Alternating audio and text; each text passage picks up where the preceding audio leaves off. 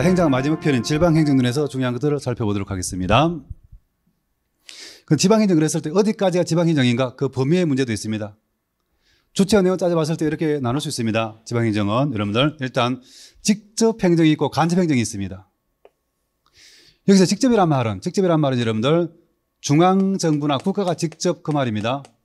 중앙정부가 직접 한다는 말이고 간접이란 말은 뭔가를 통해서 한다는 말이죠. 간접적으로 자치단체를 통해서 특히 여러분들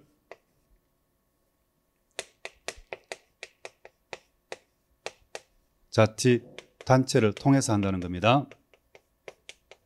그렇습니다. 그리고 직접 행정을 관치 행정이라고도 합니다. 관치.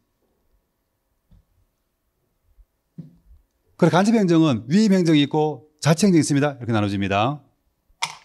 그리고 여러분들 위임 행정은 단체 위임이 있고 기관 위임이 있습니다. 이렇게 구분할 수 있습니다. 그래서 결과적으로 자 이렇습니다. 지방행정은 두 가지로 말하면 직접, 간접 두 가지가 있고 세 가지로 말하면 관치행정과 위임행정과 자치행정이 있고 네 가지로 말하면 관치행정과 단체위임과 기관위임과 자치행정이 있습니다. 이렇게 나눠지는데 그랬을 때 어디까지를 지방행정을 할 것인가 그 나라의 상황이라든가 학자들 관심에 따라서 여러분 의견이 좀 다른데 자 표에서 오른쪽 제일 끝에 보면요 여러분들 넓게 봤을 때는 광의로 봤을 때는 지방행정 하는 전부 다 지방에서 하는 건 전부 다 지방행정으로 보는 겁니다. 관치행정까지 포함해서 거기에 비해서 협의의 개념은 여러분들 이렇죠. 뭐 빼고 관청력 빼고 제외시키고 보는 겁니다. 최협의는 최협의는 여러분들 자치행정만 지방행정으로 보는 겁니다. 그렇죠. 자 이걸 그림으로 그리면 이렇게 그릴 수가 있습니다. 그림으로 그리면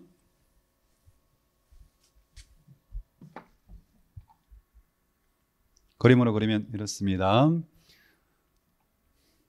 자 중앙정부나 국가가 있고 지방정부나 자치단체가 있을 때 중앙정부가 각 부처별로 지방에서 어떤 특정 업무 처리하기 위해서 설치한 기관, 자, 특별지방행정기관이 있습니다. 지방에 있지만 국가기관인 거, 지방병무청, 지방관세청, 뭐, 우체국, 세무서 이런 겁니다. 주체로 따지면 이렇게 세 가지를 그릴 수가 있는데, 자, 일로 따지면, 사무로 따지면 네 가지가 있습니다. 자치단체가 자기를 하는 거, 자치행정이 있고, 그런데 자치단체가 이것만 하지 않고요. 여러분들 국가가 시켜서 하는 것도 있습니다. 시켜서 맡겨서 할 때 두 가지 있는데 자치단체에 맡기는 게 있고 자치단체장한테 맡기는 게 있습니다. 그렇죠. 자치단체에 맡기는 것을 뭐 여러분들 단체 위임이라 합니다.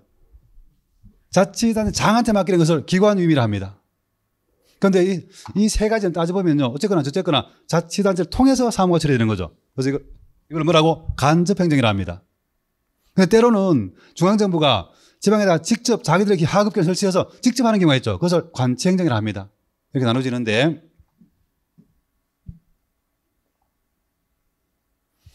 아까 표에 있었던 거 따져봤을 때 여러분들 표에 있었을 때 따져봤을 때 광해 개념은 이거 전부 다 지방행정을 보는 거죠.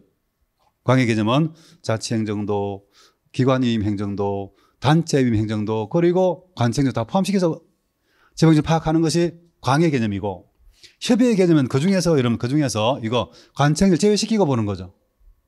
최협의는 최협의는 관청정 제외시키고 단체 위임 행정 제외시키고 기관임 행정 제외시키고 뭐만 자치 행정만 지방주로 보는 겁니다. 이렇게 보는 거죠.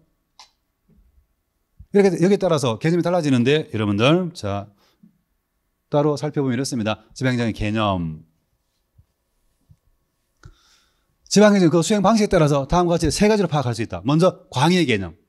광해 개념은 여러분들 지방행정을 뭐 넓게 파악해서 행정 주체와 내용 관계없이 일정한 지역 내에서 행해지는 모든 행정을 지방행정으로 보는 겁니다. 특히 뭐 2번 관치행정, 관치행정을 포괄해서 살펴보는 거죠. 그러니까 아까 그림에서 여러분들 이거 내가 전부다, 내가 전부다 지방행정을 보는 거.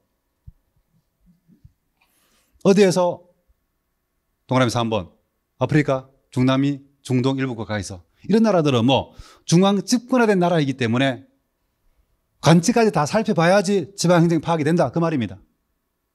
아시겠죠? 그 다음에 가령 협의의 개념은 좁게 보는 거죠. 좁은 의미로 파악해서 일정한 체계 수행된 행정 중에서 여러분들 지방 자치단체가 수행하는 것만 지방 행정으로 이해하는 겁니다. 뭐는 빼고 관치는 빼고 그래서 동그라미 2번 관치 행정 제외시키고 보는 거죠. 어디에서? 3번. 자, 이렇게 보는 거죠. 자, 관청 제외시키고 보는 겁니다. 제외시키고 단체 위임 행정과 기관 위임 행정과 자치행정을 지방정을 보는 거죠. 여러분들 어떤 나라에서 그 예로는 동남아에서 한 번에 프랑스, 이탈리아 그리고 우리나라가 있습니다. 이런 나라들은 어느 정도 지방자치를 하고 있기 때문에 관청을 제외시키고 봐도 지방정령이 포함이 된다, 파악이 된다 그 말입니다. 그리고 최협의로 따지면 최협의 개념에 따르면 여러분들 가장 좋게 파악해서 지역 주민들이 그들의 일상생활에 관련된 사물을 중앙정부에 의하지 않고 자기들의 의사와 책임하에 스스로 또는 대표를 통해서 처리 행정을 지방적으로 이해하는 겁니다. 즉 지방이 자기를 자기가 하는 것만 자치행정에 한정시켜 파악하는 거죠. 자, 아까 그림에서 보면 여러분들 다 제외시키고 다 제외시키고 요거 하나만 자치행정만 지방행정으로 보는 겁니다. 요거만 거죠. 가장 최입의 개념은 그렇죠. 어떤 나라에서 이거 영국이나 미국이나 스위스 같은 뭐 지방자치 선진국에서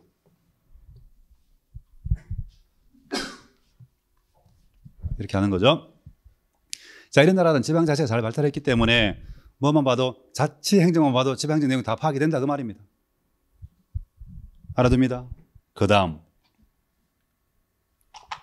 자, 지방행정에서 가장 중요한 것이 지방자치죠. 그랬을 때 지방자치가 뭔가? 지방자치는 쉽게 말하면요. 지방이 자기를 자기가 하는 겁니다. 좀 풀어서 말하면 이렇게 말할 수 있죠.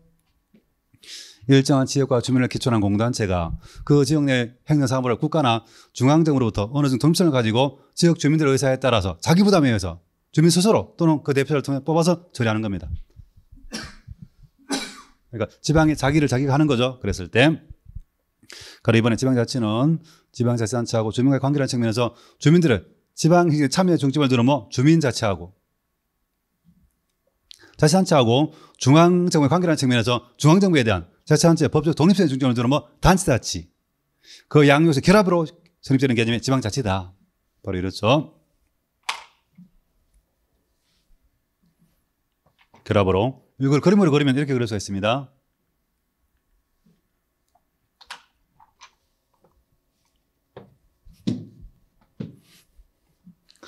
자, 중앙정부나 국가가 있고 지방정부나 자치단체가 있고 주민들이 있다 그랬을 때 여러분들 이 주민들이 주민들이 자치단체 행정에 참여하는 것 강조하는 주민자치 개념이 있고 국가로부터 자치단체가 국, 어, 자치권을 부여받아서 스스로 사무처라는 것 강조하는 단체자치 개념이 있습니다. 이런 것들이 결합되어서 지방자치가 이루어진다. 그래서 결국 둘 다 필요한 건데 필요한 건데 여러분들 어, 개념이 좀 다르고 또 역사적으로도 역사적으로도 따로따로 발전해 왔기 때문에 여러분들 각각의 내용을 비교하고 구분한 문제가 출제되기도 하고 그렇습니다. 그걸 좀 이따 살펴보도록 하겠습니다. 그랬을 때 이러한 지방자치는 여러분 구성 요소가 있는데 3대 구성 요소 말하는 경우도 있고 5대 구성 요소 말하는 경우도 있습니다. 3대 구성 요소는 마치 그거 비슷하죠. 국가 성립의 3요소와 비슷합니다. 국가 성립하기 위해서는 영토가 있어야 되고 국민들이 있어야 되고 주권이 있어야 되죠. 그와 마찬가지로 지방자치를 위해서 뭐 사람들이 있어야 된다. 주민들이 있어야 된다. 또 구역이 있어야 된다. 지역이 있어야 된다. 그리고 자치권이 필요하다. 이렇죠. 자, 3대 구성요소입니다. 5대 구성요소라 그러면 그 세 가지에다가 뭐 여러분들 4번 자치기구와 5번 사무를 합쳐서 5대 구성요소를 하기도 합니다. 바로 이렇죠. 세부 내용들을 공부할 거고 본 수업에서 그 다음에 자, 주민자치, 단체자치를 좀 더 자세히 본다면 이렇죠, 여러분들. 자, 비교했을 때 주민자치는 주민들이 스스로 뭘 하는 거죠. 지방 주민들의 의사와 책임 하에 스스로 또는 그 주민들이 선출한 대표자를 통해서 사무를 처리하는 겁니다. 바로 이렇죠. 거기에 비해 그런지 단체자치는 국가 별개의 법인권을 가진 지방자치단체가 국가로부터 상대적으로 독립된 지휘와 권한을 부여받아서 일정한 범위 내에서 중앙의 통제를 받지 않고 어떻게 독자적으로 행정 사무를 처리하는 것. 그렇습니다.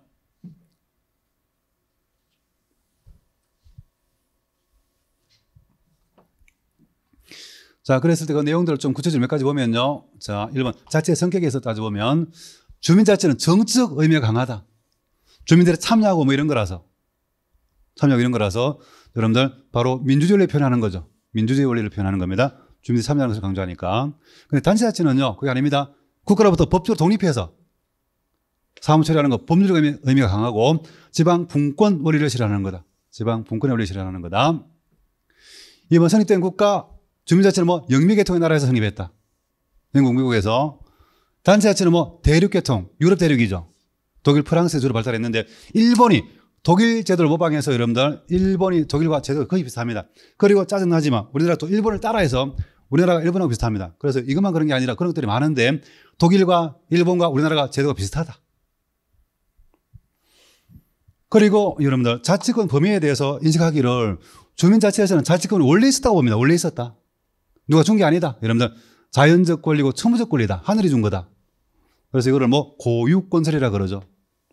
그러니까 어, 국가가 생기기 이전부터 지역 공동체가 먼저 있었고 그 지역 공동체에서 무슨 일이 있으면 그 구성원들이 스스로 결정 처리했었다. 그게 발달해서 지방자치가 된 거기 때문에 또 자치단체가 된 거기 때문에 여러분들 자치권을 누가 준 게 아니라고 봅니다. 거기에 비해서 단체 자치를 채택한 나라에서는 이런 생각이죠. 아니다. 그거 아니다. 자치권은 국가가 줬기 때문에 있는 거다. 따라서 국가에서 전래된 권리가 바로 여러분들 자치권이라고 봅니다. 따라서 전래건설의 바탕을 두고 있죠. 전래건설 바로 이렇습니다.